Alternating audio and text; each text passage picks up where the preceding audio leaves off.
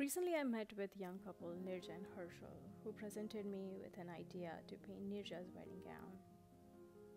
The idea for the design of the gown was inspired by couple's love for nature.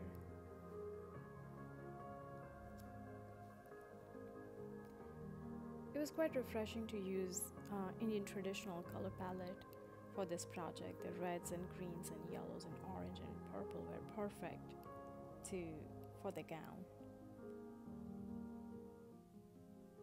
The peacock was Nirja's favorite bird, and that is something we wanted to include in her gown.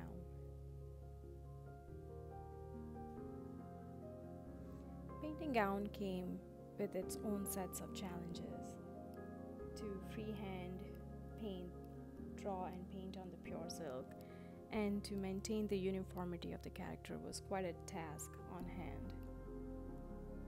Artisans who worked the pearl embroidery to enhance the artwork did a fantastic job at it.